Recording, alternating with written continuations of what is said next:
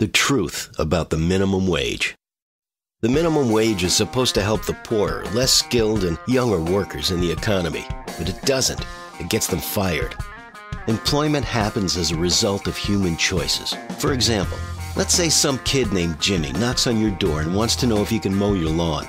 If your lawn really needs to be mowed, you might choose to employ him for 10 bucks. If he charges 20, we might still not complain. But if he charges 50, 100, 1000 dollars, at some point that job will not be created. Jimmy will be unemployed. Why is this? It isn't because you're greedy, but simply because you value $100 more than that service being provided.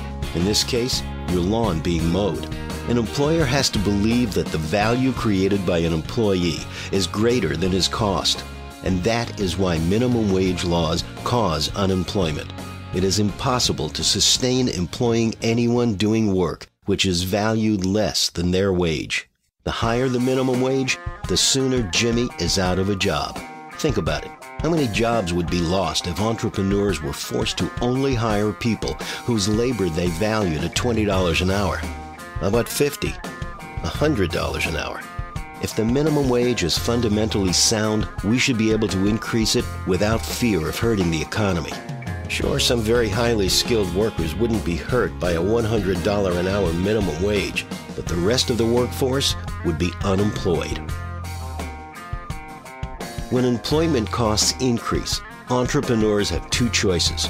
They can reduce the amount of people they employ, or they can raise the price of the goods they produce. Otherwise, they're in the red.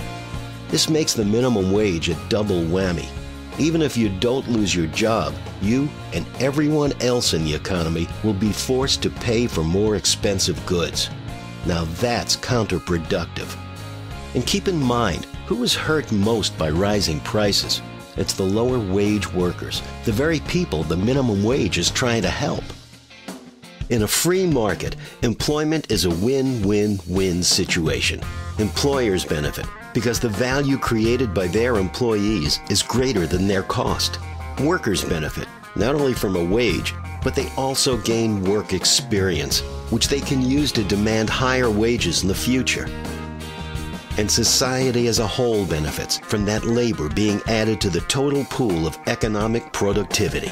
But the unemployment caused by the minimum wage is a lose lose lose. Workers are robbed of their wages and that invaluable work experience.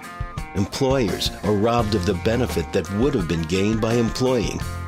And the whole economy is worse off because those unemployed workers are now unable to contribute their labor to help everyone's economic prosperity.